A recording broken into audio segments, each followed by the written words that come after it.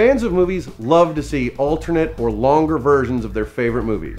There are basically two different types of extended cuts for the most part a director's cut and a special edition. What is the difference between a director's cut and a special edition? James Cameron has never released a director's cut.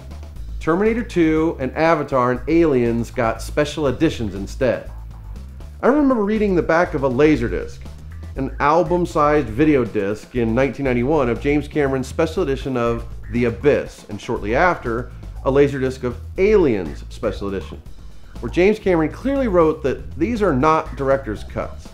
Home video affords him the opportunity to add back in scenes, and for James Cameron, whole subplots back into the film, and they can be seen as alternate versions, and thus, special editions is the apt title for these versions. Usually, a director's cut implies that the studio or the producers made editorial decisions against the wishes of the director. In the case of James Cameron, he was fired from his first film, Piranha 2 The Spawning, and he did not have final cut. He vowed and has upheld that he would contractually have final cut on every movie he directs.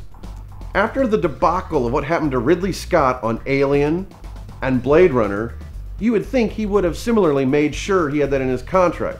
But even as recent as 2005, he still has to release a director's cut of Kingdom of Heaven because the theatrical version was not what he intended. Although Ridley Scott has also released extended editions of Black Hawk Down and Gladiator. Those are not considered director's cut because in his DGA, Directors Guild contract, he had final cut on those films. Peter Jackson is a fan of special editions, but he doesn't like to release them first. During The Lord of the Rings and the huge success of the special editions, note, not director's cuts, of Lord of the Rings, when asked why he didn't release the extended cuts of those films, he said, The only reason people say that is because they have something to compare them to. The initial theatrical releases were very popular. With King Kong, one of the main criticisms, including my own, is that the theatrical cut which is technically a director's cut, was too long and self indulgent. He even then released a longer special edition of King Kong. So the basic difference?